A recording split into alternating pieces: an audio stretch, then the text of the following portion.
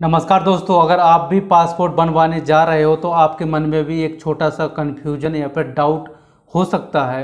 Video एकदम short में बनाऊँगा, इसलिए एक बार एंड तक ज़रूर देखते रहना, आपको पूरा क्लियर हो जाएगा। तो देखिए दोस्तों फॉर एग्ज़ाम्पल के लिए मेरे फादर का नाम है राम मिलन।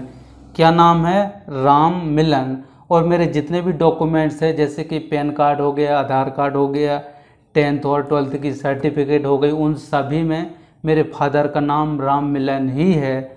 और अब बात करते हैं कि मेरे जो फादर का आधार कार्ड है या फिर फादर के सर्टिफिकेट में, उनका भी उसमें नाम राम मिलन ही है। लेकिन मुझे कन्फ्यूज़न ये आ रही है कि यहाँ पर जो मेरे डॉक्यूमेंट्स में फादर्स नेम में राम मिलन के बीच में स्पेस आ गया है।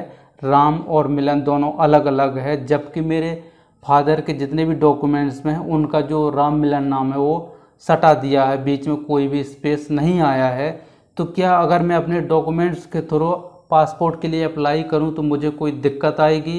या फिर पुलिस वेरिफिकेशन में मुझे कोई दिक्कत आएगी? इस प्रकार के क्वेश्चन आप लोगों के आते रहते हैं। तो दोस्तों, मैं आपको बता देता हूँ, आप पासपोर्ट भी अप्लाई कर सकते हो और आपका सक्सेसफुल पुलिस वेरिफिकेशन भी हो जाएगा।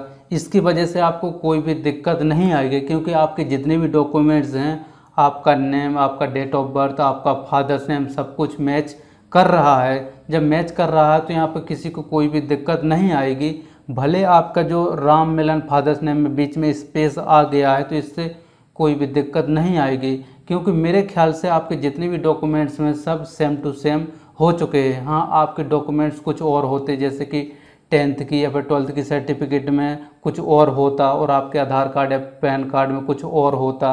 तो इस प्रकार से मिसमैच हो जाता है तो आपको पासपोर्ट बनवाने में दिक्कत आ सकती है। लेकिन आपकी तो यहाँ पर पूरी डिटेल्स मैच कर रही है तो आपको यहाँ पर कोई भी दिक्कत नहीं आएगी। और इसी प्रकार से ऐसा मेरा भी है। और दोस्तों, जब मैंने अपना पासपोर्ट बनवाने जा रहा था तो बनवाने से पहले मुझे भी यही डाउट था। लेकिन इसके बाद से मैंने अप्लाई कर दिया और मेरा सक्सेसफुल पासपोर्ट बन भी गया, मुझे कोई भी दिक्कत नहीं आई है तो आपको भी कोई भी दिक्कत नहीं आएगी। और अगर आपके मन में अभी भी किसी प्रकार का कोई क्वेश्चन है, मन में कोई डाउट है तो आप मुझे कमेंट्स करके ज़रूर पूछ सकते हो। या फिर आप मुझे इंस्टाग्राम में भी मैसेज कर सकते हो। लिंक आपको वीडियो के डिस्क्रिप्शन में मिल जाएगा। चलिए मिलते हैं नेक्स्ट वीडियो में। तब तक के लिए बहुत बहुत धन्यवाद।